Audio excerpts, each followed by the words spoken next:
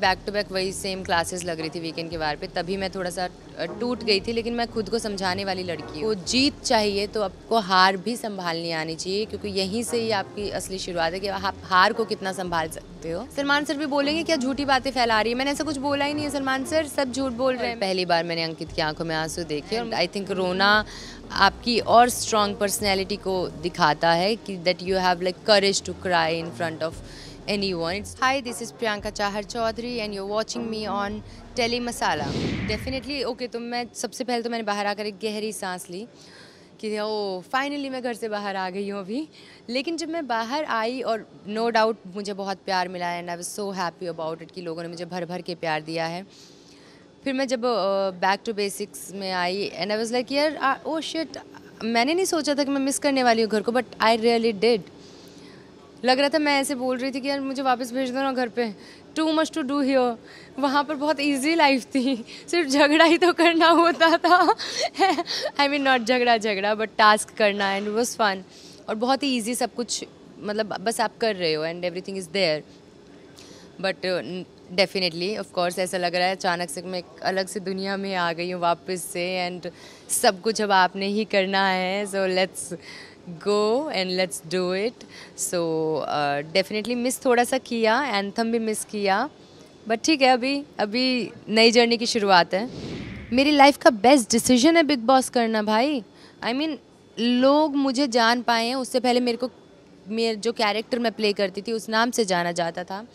अब लोग who is Priyanka Chahar Choudhary उन उसे जान पाए हैं। And I think Bigg Boss करना is like one of my best decisions I think ना मैं सच में मैं वो लड़की नहीं हूँ अफसोस करने वाली। मैं किसी चीज़ का मैं बहुत कम रिग्रेट करती हूँ लाइफ में। वाई क्योंकि मैं दोनों तरह से प्रिपेयर्ड रहती हूँ। जीत के लिए भी प्रिपेयर्ड हूँ तो हार के लिए भी प्रिपेयर्ड हूँ। और शायद मैं मेंटली इतना प्रिपेयर हो जाती हूँ कि मुझे शायद इतना चीज़ें बुरा नहीं लगती है।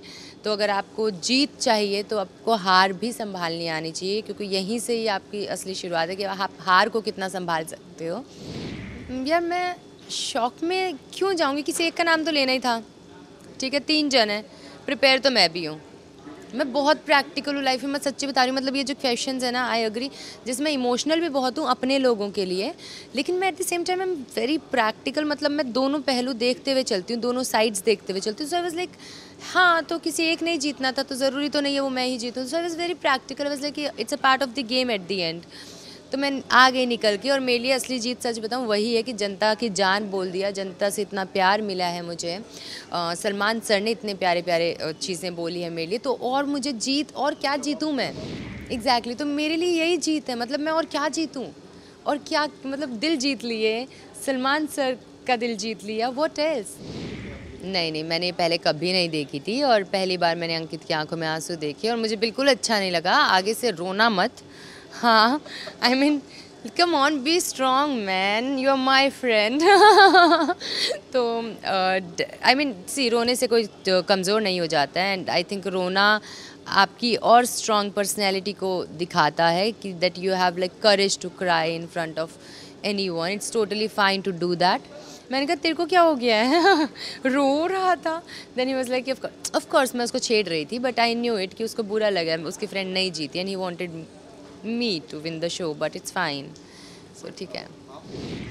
यार, वो जब मेरी बैक टू बैक वही सेम क्लासेस लग रही थी वीकेंड के बार पे, तभी मैं थोड़ा सा टूट गई थी, लेकिन मैं खुद को समझाने वाली लड़की हूँ। तो आई थिंक मैं तो तो यस डेफिनेटली इंसान होते हो, आपको थोड़ा सा बुरा मतलब बुरा, आपको थोड़ा सा बुरा लग सकता है। और uh, मैं उस टाइम पे थोड़ा सा इमोशनली uh, थोड़ा सा ब्रेकडाउन हो गया था मेरा but then I know myself कि मुझे ही अपने आप को समझाना है क्योंकि ना uh, सब कुछ यहाँ होता है। अगर आपका आप अपने इमोशंस पे कंट्रोल कर लो यहाँ से समझ के चलो ना देन अगेन और ज़िंदगी ख़त्म नहीं हो जाती है उतने में।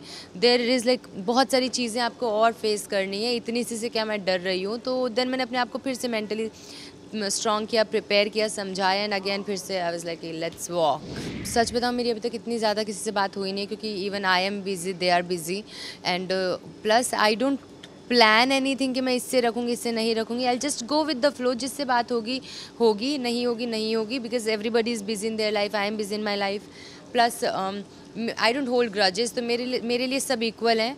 एंड जिससे होना होगा, उससे होगा, वो तो टाइम के साथ पता लग जाना है. तो I am just going with the flow नहीं नहीं बोला उन्होंने मुझसे। पता नहीं है क्यों बोल रहे हैं। उन्होंने मुझसे ऐसा कुछ नहीं कहा। सलमान सर भी बोलेंगे क्या झूठी बातें फैला रही है। मैंने ऐसा कुछ बोला ही नहीं है सलमान सर। सब झूठ बोल रहे हैं। मैंने नहीं बोला ऐसा। अभी तक सच बताऊँ, मुझे भी सिर्फ़ सुनने में आ रहा है, लेकिन ऐसी कोई बात नहीं है। मैंने भी सुना है ऐसा कि ऐसे ऐसे बात चल रही है बट ट्रस्ट मी ऐसी कोई बात मेरे मेरे सामने नहीं आई है। और अभी टाइम ही कितना, तीन, चार दिन ही हुआ है। तो नहीं, अभी तक कोई बात नहीं आई बट अगर आएगी तो आई एम श्योर आप सबके सामने वैसे भी आ जानी है सो नो सब्र का फल मीठा होता है सब्र रखो। अभी ठीक है ना अंकित के साथ कहीं और नज़र आ जाएँगे। आ, पर जुनूनियत का अभी ऐसा कुछ नहीं है। दे आर डूइंग ग्रेट तीनों एक्टर्स उसमें अच्छा कर रहे हैं। अभी अभी अभी मैं तुम लोगों से जुड़ी हुई हूँ सभी मतलब सारी जनता से और सबसे। तो अभी थोड़े टाइम रहते हैं और काम करने देते हैं। And we need a break guys